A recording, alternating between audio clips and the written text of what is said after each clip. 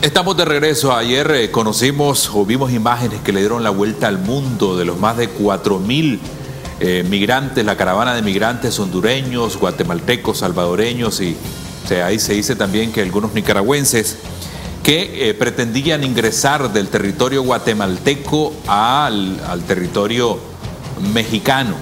¿Qué va a pasar con estos migrantes? ¿Realmente es la primera vez que ocurre? ¿Qué posibilidades tienen? De ingresar a los Estados Unidos. ¿Quién es el responsable de que esto esté ocurriendo? Para hablar de este tema hemos invitado a Ricardo de León, que es experto en política internacional, para, para que nos ponga en contexto y nos explique eh, eh, realmente qué es lo que está pasando y qué puede ocurrir con estas personas que, hasta donde tengo entendido, una buena cantidad ingresaron al territorio mexicano. Un placer tenerlo por acá, estimado. Muchas gracias por aceptar nuestra invitación. Bueno, los Estados Unidos, y quiero empezar por ahí, decían que eh, iban a haber sanciones o algunas medidas económicas, inclusive contra eh, Honduras. Eh, ¿Qué nivel de responsabilidad tienen los hondureños en esto que, ha pasado? Porque la mayoría de esta caravana de migrantes son hondureños, o por lo menos de ahí salió.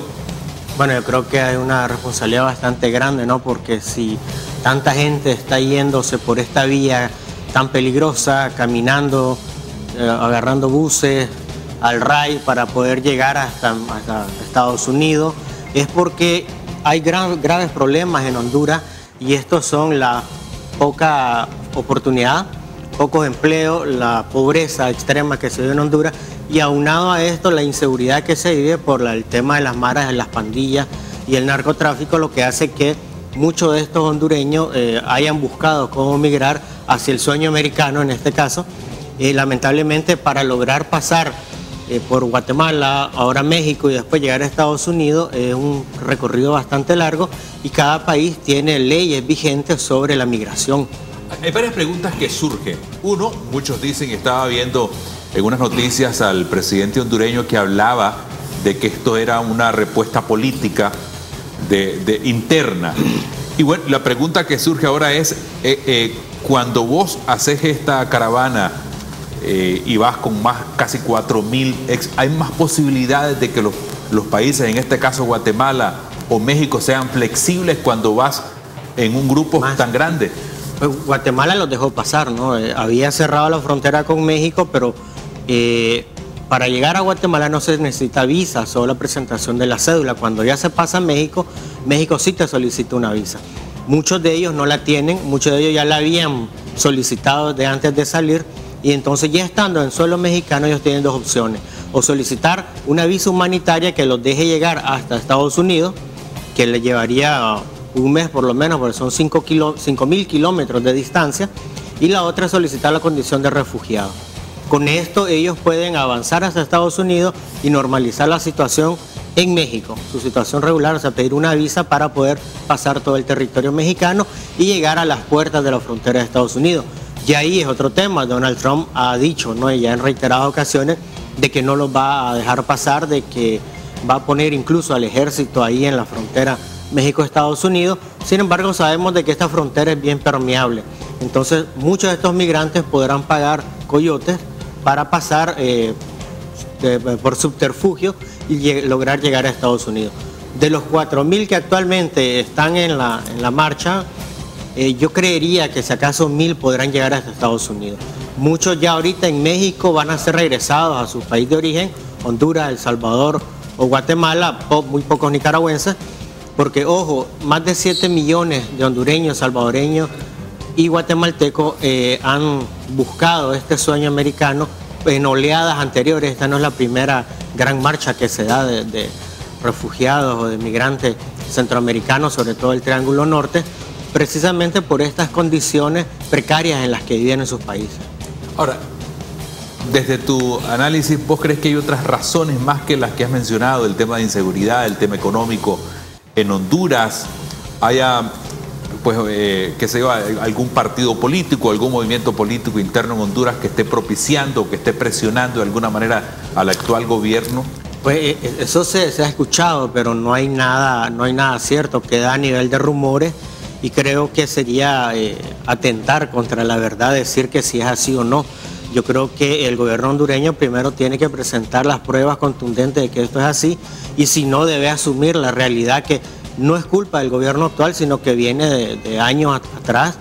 Eh, la situación en Honduras es precaria, como decía anteriormente, comparte con Nicaragua los últimos lugares en cuanto a nivel de, de, accesibilidad a la educación, a la salud y a los más altos niveles de pobreza que tenemos a nivel regional. Entonces no creo que solo sea algo político, sino que más bien es parte ya de la, de la explosión social que se da en nuestras naciones, sobre todo en el Triángulo Norte, ante la falta de posibilidades de sobrevivir al menos. Esto no es la primera vez que ocurre. ¿Qué creemos que deberían hacer los países?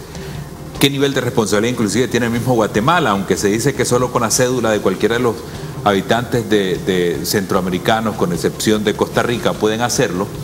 Pero bueno, se sabe cuál es la pretensión ¿Pudo haber hecho Guatemala algo? Ya hablábamos de la responsabilidad que ha asumido o que tiene Honduras. ¿Pudo haber hecho algo Guatemala?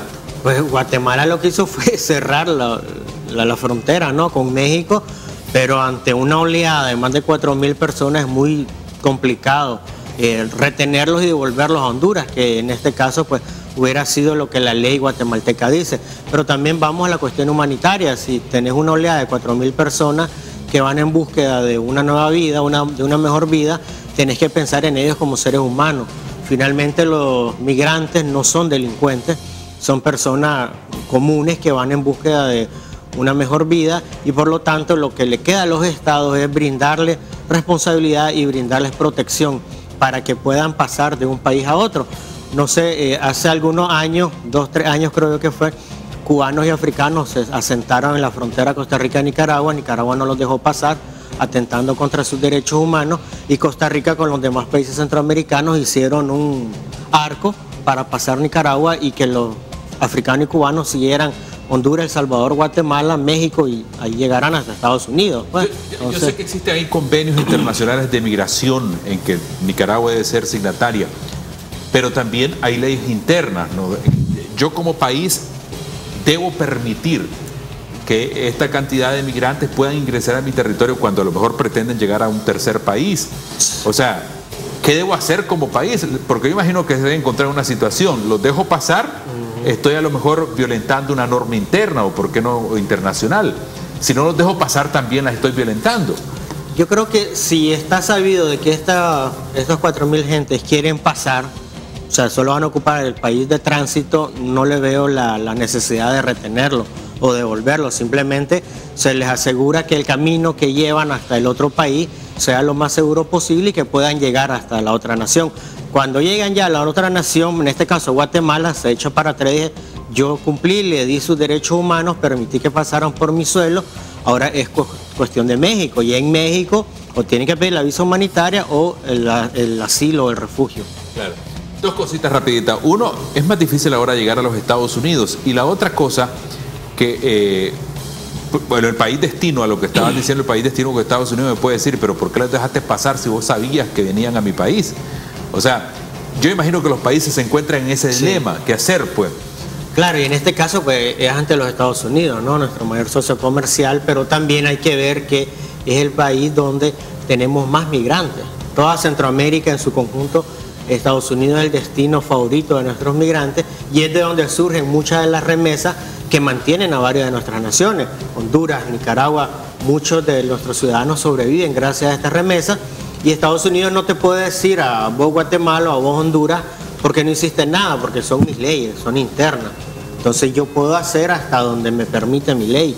Y si como te digo, prefiero darle los derechos humanos a estas personas, yo los dejo pasar.